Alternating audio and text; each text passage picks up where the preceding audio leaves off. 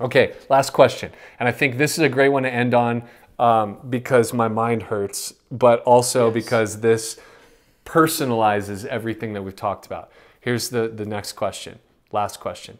Do we have free will, or is everything that happens predestined to happen by God?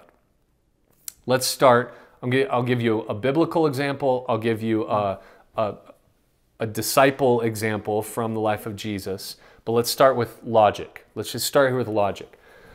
Love can only exist when there's a choice. Yeah. Great example. Um, when when my girls were real little, they had plenty of dolls that like if you pull the string on the back, it would say something, right?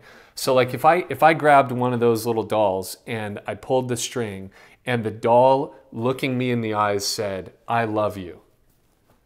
I would receive zero gratification from that because it is programmed and robotic and there is no choice. Yeah. So it's not love. It's just some words coming out of a programmed robotic doll, right? Yeah. So God knew that for Adam and Eve and the rest of humanity to actually love him, there had to be a choice. So in the Garden of Eden, God presented Adam and Eve with a choice. He said, There's one rule in this garden don't eat from this tree. You can eat from all the rest, don't eat from this one. Take care of the animals, take care of the garden that I've planted for you. Adam and Eve had one rule and they broke the one rule. They chose, instead of following what God told them to do, they did what looked desirable and good. And so they chose that because they're not robots. They have free will. Yeah. And because we've all, as the human race, descended from Adam and Eve, we now all have a, a choice, right? Yep. So I think the big question here is about God's sovereignty versus man's responsibility. That's really like what's what's in play here, what's to debate. And I, I just want to I want to help you see that the I don't believe that the Bible teaches either or. The Bible teaches both and. Mm-hmm. It, they go they actually go hand in hand. I'll just give you one quick example. Philippians chapter 2, Paul is writing to the Philippian Christians and he says in Philippians 2 verse 12, he says, "Therefore my beloved, as you've always obeyed, so now, not only as much in my presence, but much more in my absence, work out your own salvation with fear and trembling.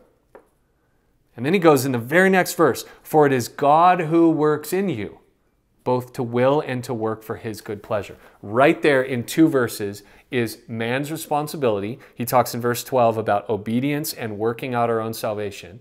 And the very next verse, God's sovereignty. It is God who is working in us to will and to do for his good pleasure. So, great example of that is Judas. You know, one question that came in um, was about like, was Judas doomed by Scripture to betray Christ, or did he did he have a, a choice? And um, simple answer to that would be that Scripture foretold the betrayal, but Judas made the choice. So is Judas responsible? Yes. Is God sovereign? Yes. Is Scripture prophetic? Yes. These are not competing doctrines, these actually go hand in hand. Yeah. So, yes, we all have a choice. And I think this is why it's so important to end on this because we need to personalize everything that we've just said. We've talked about so many deep things the rapture and the millennium and the second coming of Christ and hell and heaven and judgment and eschatology and all of this stuff. We need to just bring all of that back and say all of us today have a choice to make.